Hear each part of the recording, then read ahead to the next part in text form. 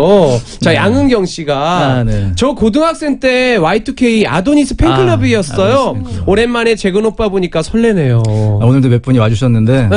아, 정말 몇 분이 어, 와주셨어요. 저는 진짜 아이돌인 줄 알았어요. 그 왔어요? 팬 조공이라 그러죠. 어, 진짜? 네, 그 박스에다가 이렇게 먹을 것들, 뭐 음료수 진짜? 이렇게 챙겨가지고 딱 들고 들어오는데, 야 고재군 살아 있네. 하는 그런 느낌이. 아도니스 팬클럽이 이름이 아도니스 팬클럽이었는데 네. 정말 저는 없어진 줄 알았거든요. 네. 아직 몇 명은 살아 있더라고요. 근데 다들 이제 결혼하셔가지고 네. 아이들도 있으시고 세월이 흘렀으니까. 그러니까요. 아, 너무 반가웠어요. 아, 근데 부럽습니다. 아, 부럽습니다. 네. 아니 박희경 씨는 팬클럽 없어요?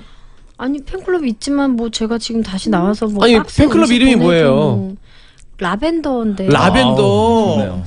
아 근데 그래서 이 라벤더 분들 꽃으로 다 가게 활동하고 됐구나. 계신가? 예? 아니 어쨌든 저는 제가 선물 준비해왔잖아요. 그럼요. 그랬으면 됐죠. 왜 이렇게 조신하게 그래요 갑자기? 아니 아까 계속 그게 걸려가지고 그게 아니에요. 말 너무- 참 많은데. 너무 좋아요. 너무 좋아요. 말 김민정 씨가 오늘 김창렬, 박희경 2 MC와 고재근 원 게스트 라고 해주셨습니다. 그러니까, 네. 제 얘기 좀 많이 해주세요. 네. 박혜경 씨. 아, 아니 고재근 씨. 네. 아, 그 아도니스 얘기 잠깐 했잖아요. 네네네. 근데 그런 팬분들 팬분들이 이제 나이가 들어서 네. 아이를 안고 네. 오고 뭐 이렇게 좀 나이가 들어서 이제 너무 성숙해져서 이제 오고 그러면 그러잖아요. 네. 기분이 어때요? 아까 봤을 때는 어 약간 조금 어색했죠. 네. 저그 친구들도 저를 보고 좀 어색해하고. 네. 근데 옛날 추억이 이제 다 새록새록 생각이 나는 거예요. 그 친구들이 어. 또 다들 이름이 있었거든요. 뭐 째근째근, 뭐, 네, 누구 엄마 뭐 이런 지혜, 코지 지혜 뭐 이런 게 있어가지고 예. 그 닉네임들이 다 떠오르면서 진짜 한 14년 전으로 돌아간 느낌이었어요. 어. 네.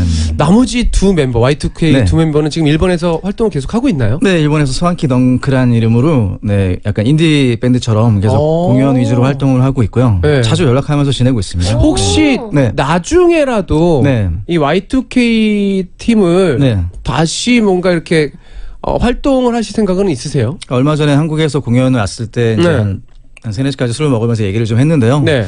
이제 아직까지 지금 밴드 활동을 이제 공연 위주 활동하다 보니까 네. 방송에 대한 부담감들이 좀 있더라고요. 그래서 어. 방송보다는 이제 공연에서 네, 같이 공연에서. 콘서트를 해서 한번 하겠다고 저희가 이제 얘기를 나눈 적이 있었습니다. 재밌겠다. 전에. 그러니까요. 멋있겠다. 네. 그리고 옛날 그 팬분들이 네. Y2K 팬분들이 다시 다 모여가지고 정말. 그때 노래를 따라 부르고 막 그러면 되게 감동적일 것 같아요. 눈물 날 것 같아요. 그러니까 얼마 전에 그 제키나 그러니까요. 그거 많은 보면서. 분들이 또 휴가맨을 통해서 네. 다시 뭉쳐가지고 이렇게 노래하는 모습을 보고 그 팬분들이 또 좋아하시는 모습을 보니까 참 Y2K가 다시 뭉쳐가지고 공연을 하고 그랬으면 좋겠다라는 생각이 듭니다. 저도 그런 모습에서 용기를 좀 얻었던 것 같습니다. 네. 요즘은 이렇게 옛날을 회상하는 프로들도 많이 생기고 그러니까요. 옛날 네. 활동했던 친구들이 왕성하게 활동하는 거 보면 네. 와 좋더라고요. 그러니까요. 음.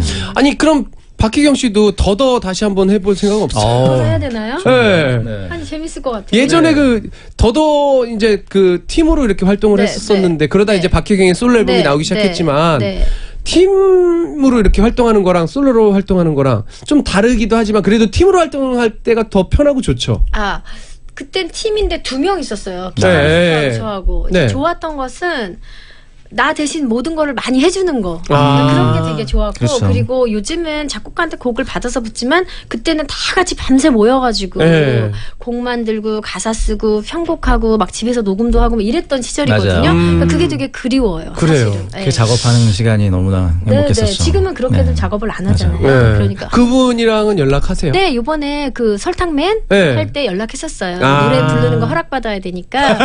했는데 7873님이 혜경 누나 저 군대 가기 전에 누나 콘서트 갔었는데 키스타임이 있었다는 아, 네. 아 키스타임이 있었어요? 네네. 그 왜 너에게 주고 싶은 세 가지 중에서 네. 네. 너에게 주고 싶은 세 가지 너의 생일 첫 키스 아, 할 때. 연인들이 올라와서 네, 네. 키스 첫 딱- 키스 딱 시키기도 하고 가끔 제가 마음에 드는 남자 있으면 저한테 하나를 시키기도 하고. 아 여기 보내다가 어. 야 진짜 너무 사심 가득한 공연이었네요. 아니 근데 진짜 그때는 무대에서 이렇게 노래하면 무대에서 다 보이잖아요. 그렇죠. 그러면은 진짜 마음에 드는 사람 가끔 올려 올라 보 올라오라고 하기도 하고 그랬었어요. 아, 마음에 드는 사람. 이번에 또 그거 해볼까? 아 그걸 기억하고 계시네요. 네. 음. 자, 아,